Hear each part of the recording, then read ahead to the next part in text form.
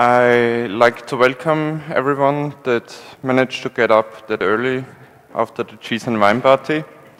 Um, welcome to the talk from the website team. It's just me on the stage, but uh, I will show you the people that are involved a bit later. I started back in 2000, 2001 and got involved in the German translation part. And since about two years, I'm a web, uh, part of the webmaster team. The history of the website is a rather longish one.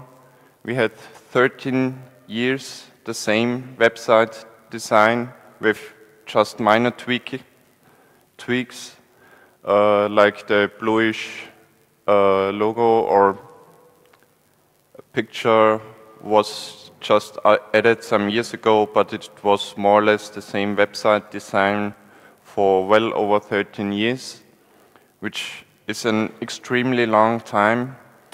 Um, a lot of people mailed us about having a redesign done, suggestions, but no one really actually made it happen. Um, most of the times there were accessibility issues involved. Some people wanted to push for JavaScript and things like that, which not really work for accessible uh, devices. And yeah, people turned away because they wanted to get flash on there and things moving and blinking and what else. But we have very strong requirements with respect to accessibility. We have blind users. We want to also support people who are handicapped uh, vision and also the, the translation is a very big part, uh, requirement issue. So it took 13 years to get a new web design online. This is the current new look of the website. We managed to get it uh, done for the re release of Squeeze, but not only for the website, also for PlanetDebian.org, for the wiki, and some other systems. And this was a huge effort which took us um, at least two years of hard work, more or less hard work. Um, there were a lot of people involved in getting this done.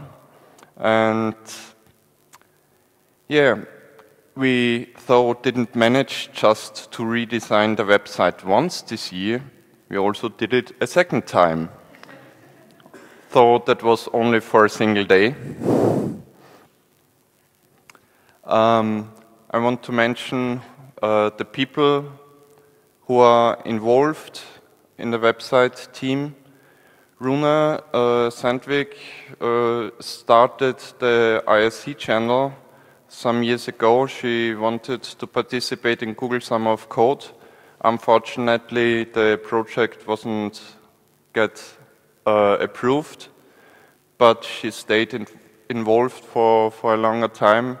And I specifically want to mention the IRC channel because it's one of the most important resources these days which managed to get the web team more active and more involved and in better contact with each others It didn't happen that uh, it didn't work that well through the mailing list before, but the IRC channel is a very, very important resource for the current web team. Kalle Soderman did propose the, um, the new design. He worked on it for several years before it got really um, known and, and people started uh, to, to give it a try.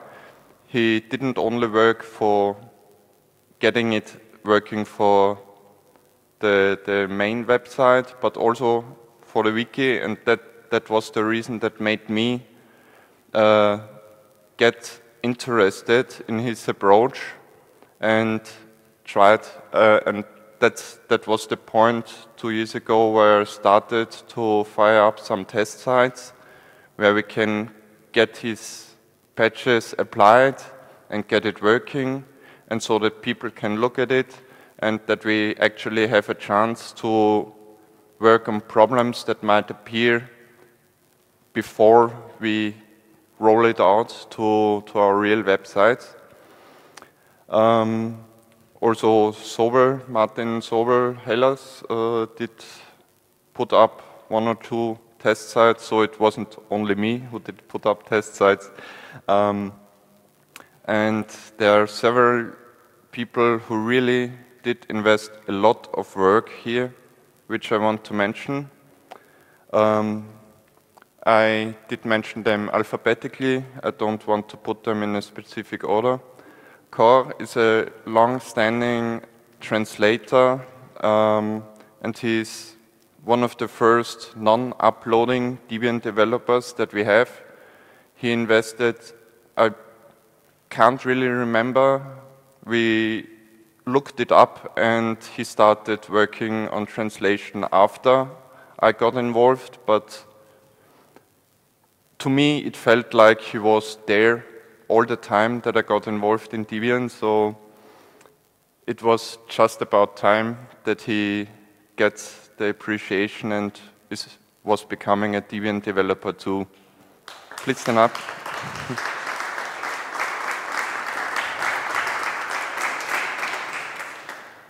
so the Danish translation of the website is almost completely just his work and uh, since he became a Debian developer, he is now also part of the webmaster team. Um, Madame Su is uh, working on the Italian translation. She is also very active in publicity work and Debian Women, and she does hell a lot of her work, and the redesign wouldn't have been possible without uh, Francesca's great work. So Thank you.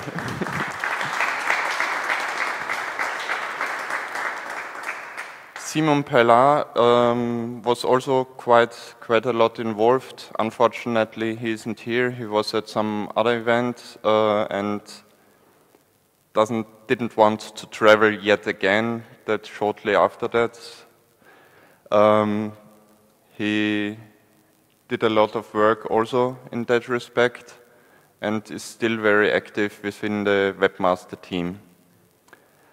Then there is Tafit, our French uh, contributor from Martinique, and he really invested also a lot of not only translation work and not only webmaster stuff, but also cleaning up uh, things all across um, the system, we have regular validation runs and tidy runs, uh, which check the HTML code, and linklint, um, which checks links to external sites.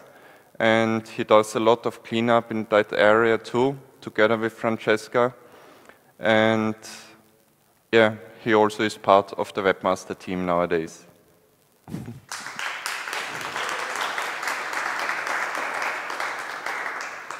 Um, I have put this into two groups. The first group are all part of the webmaster team. The second groups are not part of the webmaster team, but also um, did a lot of work in that respect. Um, EOF, uh, I'm not sure what his real name is. Okay, thanks. Uh, um, Damian, um, Synology, um, Ben Armstrong, and Zobel from with his DSA hat on helped a lot. And yes, these were more or less the people that made the redesign actually happen, who helped us along along this path to get it working. I also have to mention Josip Rodin, who is a long-standing uh, webmaster and allowed me to become a webmaster in the first place. So a lot of thanks to him too.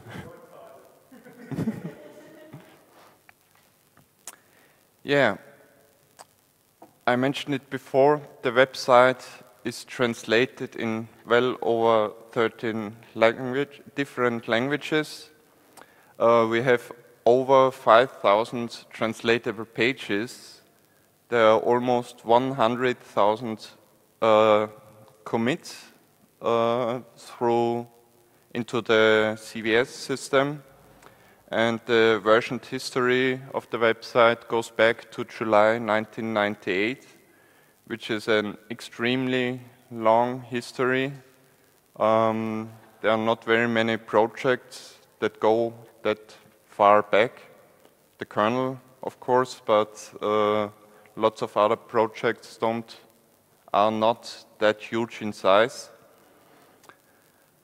Um, we had this meeting last year in December in Vienna where we managed to get things prepared for, for the redesign. Um, unfortunately, Francesca and Simon were not able to attend due to timing issues, but this was a very productive and useful meeting to get things working. The second person on the right is Kalle Söderman, which did uh, suggest the design and did most of the work we just put it into place.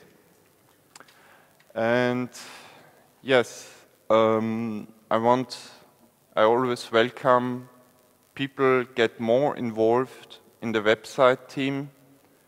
I would suggest you to get involved either on IRC, on our mailing list. Um, there are some complaints that usually come up. One of them is it's CVS. That's no one uses CVS nowadays.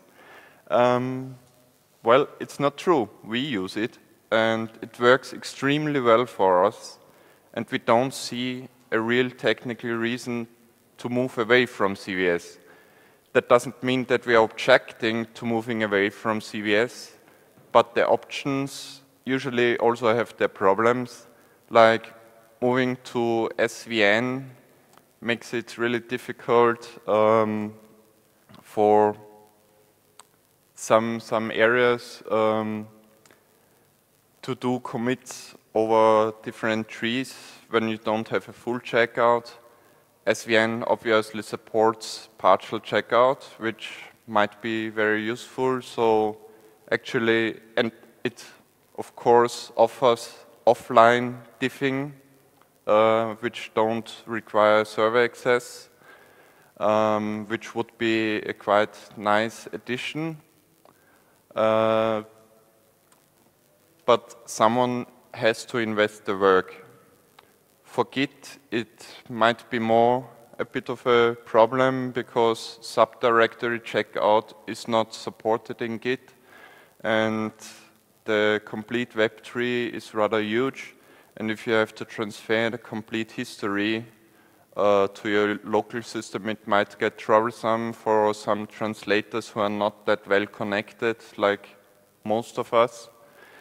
Um, so this might be a problem when when people try to move to Git.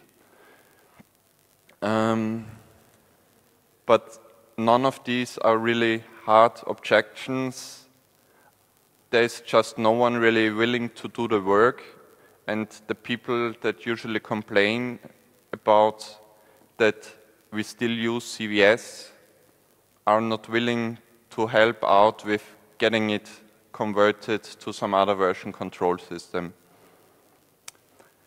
The second next uh, complaint is rather similar, um, but it's using WML no one uses WML these days and it's, it's not developed anymore. Yeah, it's, yeah, that's one of the things that people claim. Um, there is not much of progress or development going on, but it's still in maintenance state. So yeah, it works well for us, and all the sort of modern CMS systems usually have also their merits, especially with respect to um, translation work. They often don't offer diff tools for uh, getting things translated, or if they do, it's, it's flaky, and the result uh, is put into place with a complete other way of content negotiation. Uh, they don't support content negotiation, which we use for translated pages, but use some other system with where you have to more or less translate every single page, otherwise you will get switched to uh, English and be stuck with English when you browse from there and things like that. So there's still no hard objection in that direction, but it needs people to invest uh, some efforts to get it working. And yes, um, wait for the microphone, please.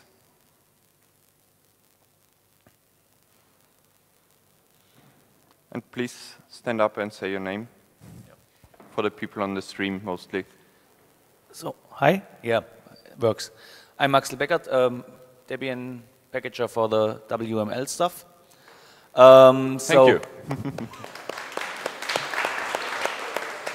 um, my question is, uh, do we still have web mirrors? Um, because yes. I think that was the hard objection against any, anything dynamical. Um, we do still have web mirrors, but all the web mirrors are on Debian.org machines, so we are able to do whatever we want on them these days. They are not mirrored through uh, two boxes that we don't can uh, change anything on them. So currently we do have boxes, all the all everything that is behind W3 uh, Debian org is is administrated by DSA and we can get changes done there. There will be some talk in the BOF later. Uh, I'm, I will be mentioning all the tracks that will be coming up, which are related to web services. Um, and we can talk there about these things. Maybe it will be covered by Zobel in his talk. So, yes, that's more or less the standing where we are. We want to get more people involved. Um, we have a lot of active members within the webmaster team these days. So we want to get more things back onto the website. Some things over the years uh, got put into the wiki, which more or less should belong on the website, mostly for translation purposes, but for making it more official. Um, we will be working on improving navigation and some moving some parts around. We are always welcoming input in that respect. Um, so please get involved um, with changing the website to a new design. You more or less might have found out that the web team is still there, or rather is again there and very active and get things done.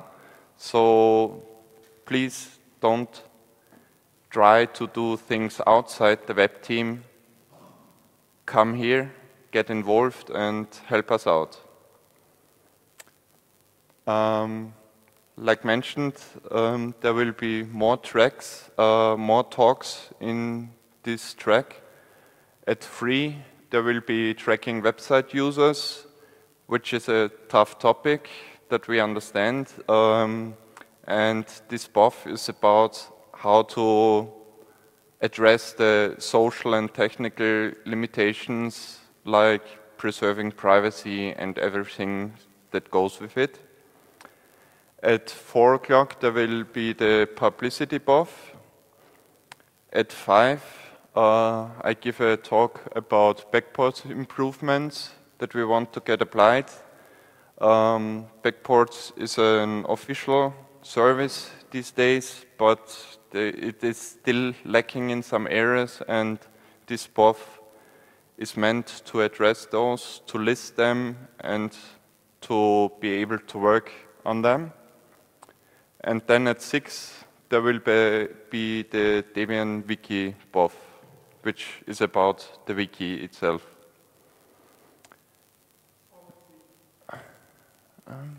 All of the uh, other uh, talks within or BOFs uh, within this track will not happen in this big auditorium, but in the small round room. Um, if you come into the venue on the main entrance, um, go to the right to the round room. Yes. So, are there any questions you always wanted to ask the web team but never dared to? I have. Yes. um, I think it, to make the website a bit more attractive, some more, I'll not say dynamic content, but um, ch more uh, changes of the content of the main site would might attract some more users. Uh, nowadays, we only have the Debian News RSS feed um, topics there, and the rest of the content just is stale. Uh, yes, that's a very valid uh, comment. Um, we sort of should have get more, uh, we should have tried to maybe get the DebConf more present on the website. And or we also have something like um, Debian project news, so we could have an abstract on the, on the, on the top and then just a read more button which redirects to the to the Debian project news uh, website or link to the Identica page or um, people behind Debian, this week in Debian are, I think, great things which could be hmm? blog, the upcoming blog Debian org thing. Yes. Um, Tafit, can you note these things down, please? So it does it doesn't get um, lost. Can you, can you I mean, it's on, on, the stream, on, but on on Gobby on Debian or on, on IRC? Um, just note it down and okay. we, we will put it together just later. give the microphone around. Uh, hello, I'm Christian Perrier. I never, I think I never did website translation in French, so yeah, sorry. And I would like to ask you, uh, is, has there been some work uh, to use gettext-based translation for the website instead of WML? Of course, you tell me that it's a good improvement and it needs someone to do the work? Um, well, there, there is gettext used for some parts, like the navigation uh, things and common parts which are used uh, in, in, in some areas. Uh, using gettext for the whole website, of course it would need someone to do it. Uh, on the other hand, I'm not that certain if there's the thing with gettext, like fuzzy translations, and the, the, the thing would be what to do with them. Present the English, an English paragraph within a French page um, might work, but uh, for things like e.g. a Swedish page and someone who would prefer Norwegian to English, um, would get an English paragraph within the Swedish page if it's not translated. And I'm not totally convinced that this would be a step forward and would improve the thing. So it's more or less a, a tricky issue which should be discussed or properly what to do with fuzzy paragraphs And if that is decided, we might give it a try for maybe some, some small subdirectory, see how it works out there, and move on from that point. I think my, my main point was, of course, not to on technical value of this or that, mostly to lower the entry barrier to work on translation uh, for the website. I feel like it, the use of WML makes it a little bit difficult for, more difficult for people who want to get involved than just using PO files. That's just a feeling of mine, you know. Um, well, it's uh, yeah. Historical perspective. Uh, I, see, I think the challenges that the website is facing today are basically the same ones that it was facing 10 years ago. And in, in, more in general, uh, uh, with the social whole issue, uh, what about the news? What about what's happening now? And what about the updated stuff? Uh, it's the same challenge that the mailing lists have uh, and have had uh, 10 or 15 years ago. things are happening on the front. that's the public website, public wiki, public whatever. And then there's things happening in the, on, at the back end uh, but we require the users to delve into the back end to figure out what's new and what's updated. And similarly, uh, we show people uh, various languages and various, you know, we enable content negotiation when nobody did that and we have all these cool, useful things, but to actually edit them, you have to delve into the back back end and uh, learn how to use CVS and everything. And uh, it, it was interesting that always the user-oriented, user-concentrated side of Debian and uh, the developer-concentrated oriented side of Debian conflict in this area. Uh, notice how uh, the common issues are why do we use CVS? All of us know about the technical in, in, in the, uh, deficiencies of CVS, but um, switching to a more advanced system is, uh, uh, without a layer of user friendliness uh, detracts from the basic goal, and the basic goal is still serve the users. And the web user is the most simplest uh, form of user that we have. uh, sorry, sorry if that offends anyone, but that's true. Uh, why the internet is popular? Because the web is making things simple.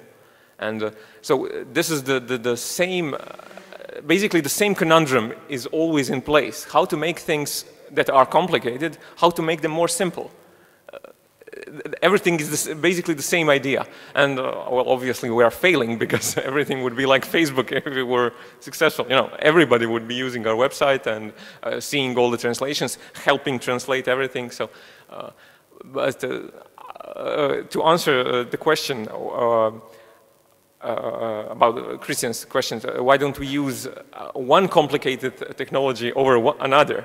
Because nobody can really demonstrate uh, the, that the technical advantage or the user advantage of gettext is so high that it would uh, be worth spending time on it to implement it in the back end uh, and then in the front end. I, I, think that's the answer because that's usually the answer to every question that we have. Yeah, for me as, as, as translator, working on a PO file is not much more convenient than working on a file that I can create a diff from yeah, and you see. know what files are. Yes. Of course. You, you, see, you see the problem. Yeah. You, you, want uh, people to translate without knowing that it goes into a file or in a database or in a, I don't know, whatever. And I'm afraid you're not the average translator yeah. on that. That's also very true, yes.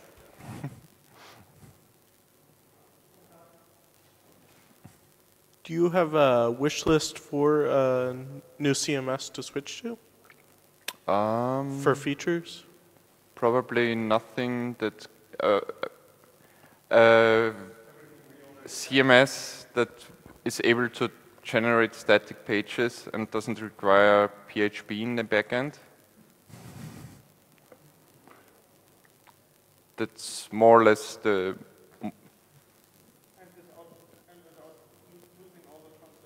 um, without losing all the translation we currently have? Because I think the PHP backend might get tricky to convince DSA to make it work, but if it really has to be, I think they could be convinced, but that would really mean uh, that that we're moving forward and that it gets things better for for for the users in the end.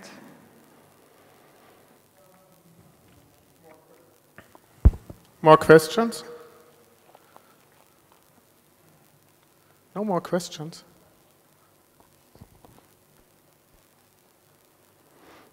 Well, maybe my opinion is biased too, but uh, I think that uh, um, change uh, we, WML is quite okay for the website. Uh, if the problem is that is not uh, um, um, how to say um, easy enough for for people to to enter it, then maybe I think that uh, it uh, it would be um, um, um, better use of our eff efforts to um, help people understanding it, such as doing what uh, have been done sometimes as uh, IRC training sessions or a training session on some other channel or um, uh, trying to uh, spend energy is energies into into um, learning people uh, into um, helping people.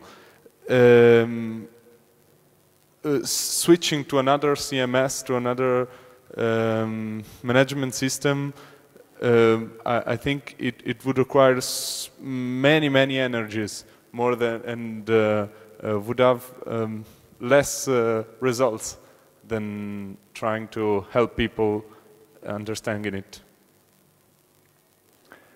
I just want to point out um, again that the, the things we mention are not a hard rejection and that we are open for discussions, things, just because we have an opinion and just because we are the webmasters doesn't mean we don't listen to reasoning. So if you are able to come up with something convincing, don't feel shy. You, you are allowed to have your own opinion.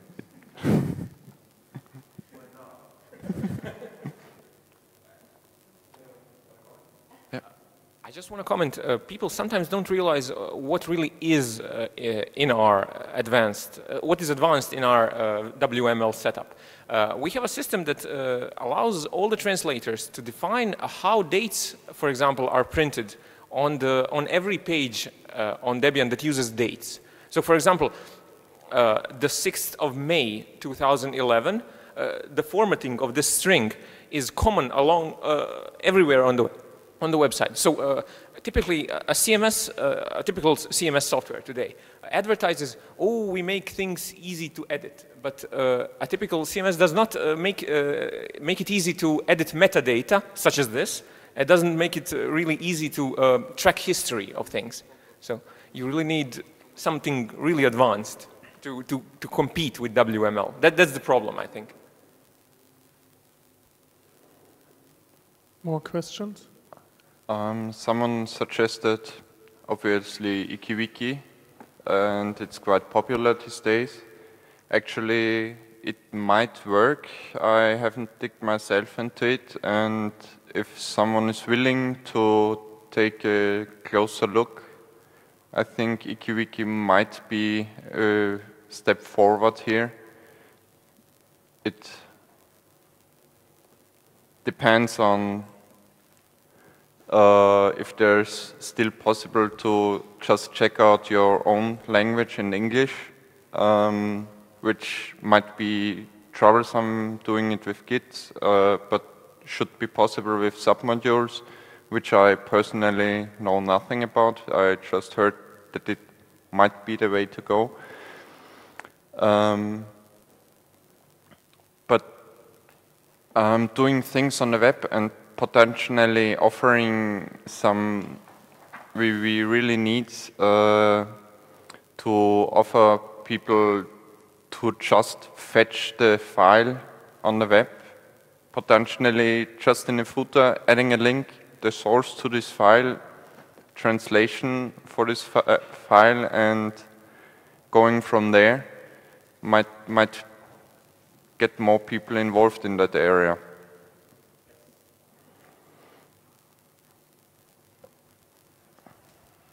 Um, I actually just have a small comment, no question. Uh, it's just a very positive thing. I just wanted to mention that uh, I'm very happy that uh, you are uh, mentioning accessibility on your own, so there is actually no need for the accessibility team to uh, to do anything in the website area uh, because the site is just perfectly accessible since like eight years or since I started to use it. So uh, just wanted to say that's really great how it is from an accessibility standpoint. But what? Thank you. I was just about I was just about asking that um, question. Um, is is um, when we switched to the new layout, did anything change? Uh, did anything get worse for you or get got better? No, I didn't. Uh, I didn't see any degradation. So yes, that just fine. Was also one of the reasons why I got quite convinced that Carlos' approach is a good one because I noticed that he spent a lot of time also on accessibility thoughts, how to potentially also improve navigation and things like that. So it's he really put a lot of work yeah, into it. It's just great from my standpoint to see that people are thinking about these issues on their own, so there's absolutely no need for me to. Yeah, we, I think yeah. we did some. But we would still like to welcome you on the team. yeah, I'm, I'm, I'm, subscribed and I have commit access, but there was absolutely no need to do anything. okay. I, I, think we did some last minute color adjustments um, for the red green or lines, uh, I think Yes, did. I think there, there was some issues with red, green, colorblind, which, which got a bit adapted in the... In the last minutes before yeah. uh, coming up with a new layout. So if, if we have persons with color blindness in here, help us um, to, to get the colors better for you. Anyone in here? Hmm? Yep. Any more questions? No more, no more questions? And then Wanda, do you enjoy the lunch.